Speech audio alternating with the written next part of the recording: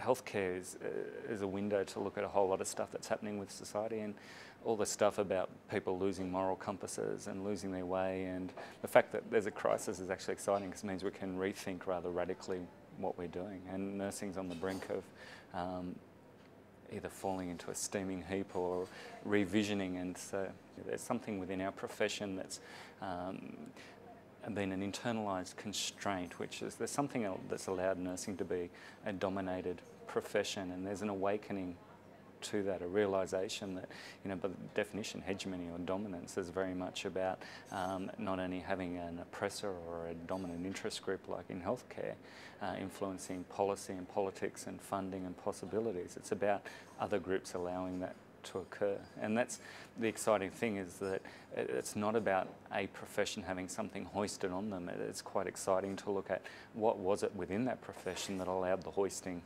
to begin with and complies with that.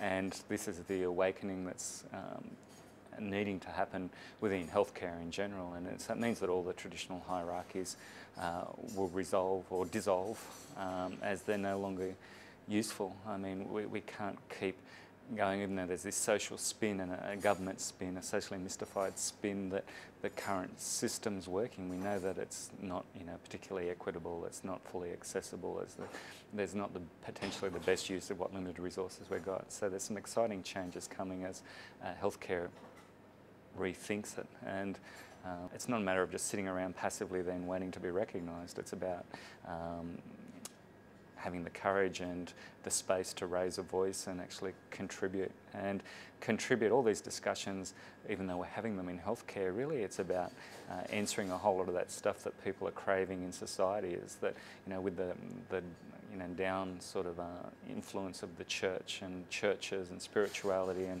you know we know there's mass immiseration there's there's phenomenal rates of people who are dissatisfied, depressed, anxious.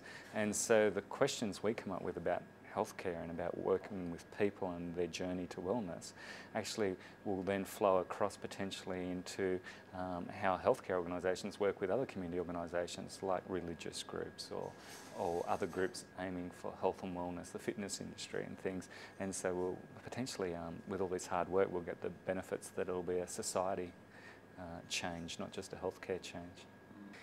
Yeah, like any time of crisis with danger and opportunity, the, the danger is, is that we just keep trying to look at healthcare through the same uh, dominant medical model, even though it's not working. And the danger is, is we keep doing that and, and keep you know, trying to fill the gap with other groups like physician assistants or anything to try and you know, keep sticking the fingers in the dike, but eventually you know, it's going to flood in and, and all is lost. And so there's a danger that we keep doing that. But the opportunity is that, yeah, the space is, is being created for us to look at things differently and to um, look at clearly how we can all contribute to the health and well-being of people.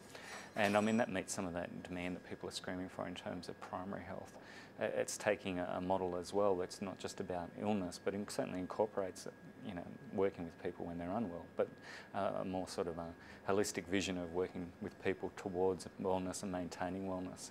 And so really society's asking for it with the, you know, the, the cry out about our obesity epidemic and uh, you know the need for primary health care, asthma intervention, a whole range of things.